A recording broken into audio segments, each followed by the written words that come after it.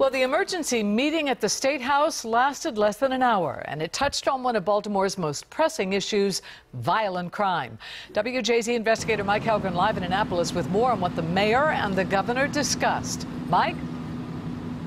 Denise, the governor just issued a statement. He did not mention a single program or solution that they talked about. The mayor held a press conference here. She said she asked the governor for help from various state agencies and increased technology to help combat violent crime. She didn't say how much it would cost and whether the governor is welcome to uh, open to opening the state's pocketbook.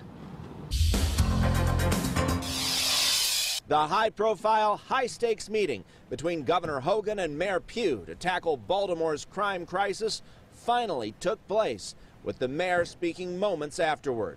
I called a meeting with the governor, who always answers my call, and said, I'd like to, you to know where we are and how we can move forward in violence reduction. Almost daily, city police post pictures of guns they've taken off the streets, but the shootings and killings have skyrocketed, and in hard hit West Baltimore, people are fed up. It is ridiculous. A guy was like running through my uh, neighborhood the other night with a gun in his hand. More than 450 people have been shot since the beginning of the year, making Baltimore one of the nation's most violent cities. Uh, it's not the police's fault. Uh, it's not the state's fault for not putting enough money in there. Governor Hogan has pushed back against the tougher gun laws the mayor wants, but called on judges to issue tougher sentences. He also says he doesn't see the need to throw more money at the problem. Mayor Pugh wants better partnerships with state agencies like parole and probation to keep tabs on offenders. She also promoted the expansion of ShotSpotter, a technology that detects gunfire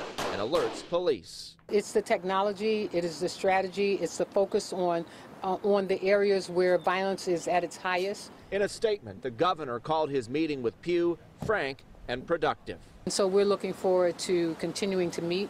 Uh, we will be meeting um, probably shortly after he has an opportunity to digest all of the information that I brought to him, and it was a very good meeting. The governor did call the situation in Baltimore a crisis and says he will continue working with the mayor and city government. Live in Annapolis, Mike Hellgren, WJZ Eyewitness News. All right, thank you very much, Mike. Non fatal shootings in Baltimore are up 50% over this time last year.